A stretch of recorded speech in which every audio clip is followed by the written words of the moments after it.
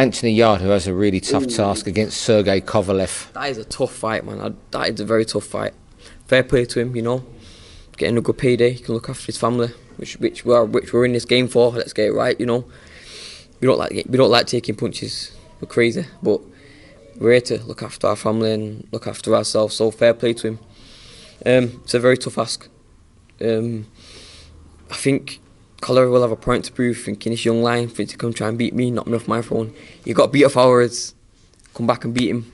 That takes a good, very good, strong man to do that, to get beat off a guy and come back and beat him again. Lennox Lewis done it numerous times, so um, I'd like to go with the English guy. I love Yardy to win. I love Yardy to win, but Kovalev is just more experienced, man. He's been in them world title fights, Bernard Watkins, Pascal, um, Ward twice.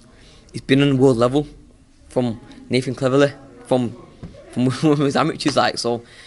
Um, it's a tough ass man, but don't get me wrong, Yardy's got punch power.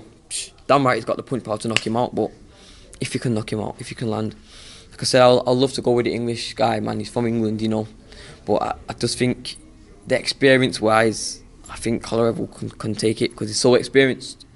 These big occasions, man, you got to be experienced in it. You can't just like, don't get wrong, you can prepare your mind for it, but Yardy's not really fought another world class fighter, maybe who's been there and dropped down or who's on that level now to get that experience. So I go with Kovalev.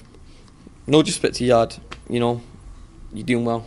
I respect you're a good fighter and um, you know you're looking after your family, which it's about. But I just believe Kovalev only because of experience, not boxing ability. He's very good, Yard, slick, but experience wise, Kovalev's got, got a handful. You can't even buy experience, so I go Kovalev.